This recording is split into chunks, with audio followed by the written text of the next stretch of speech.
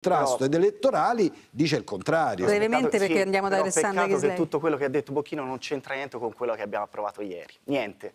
Primo punto, non riguarda i sindaci. Questa norma riguarda in particolare medici, professori universitari, direttori di carcere, persone della Anche i pubblica sindaci. amministrazione e infine, Anche in i ultimo, i sindaci. sindaci. No, I magistrati hanno avuto sindaci. più reati di abuso d'ufficio persino dei sindaci. Secondo, giustamente ha detto revisione. Terzo, reati di corte della, eh, andati in Cassazione terzo grado, condanna definitiva per abuso d'ufficio, riguarda i favoritismi in cui si è girato gare da- d'appalto dandole a imprese che non avevano diritto. Que- eh, quel- questo che prima era abuso Se hanno- se ha avuto oggi, un beneficio oggi No, però- corruzione. scusate- visto che lei è più democratico di me, Corruzione. oggi saranno salvati. Oggi il procuratore di Bari, interviste sui Corruzione. giornali che probabilmente Bocchino non ha, non ha letto, ha No, detto no, tutte quelle leggere tutto persone non saranno condannate, quei processi salteranno, punto, finita la discussione. Andiamo perché sennò si trasforma in un 95% dibattito tra voi e invece vo- vorremmo coinvolgere Alessandra Ghisleri perché eh, nelle ultime settimane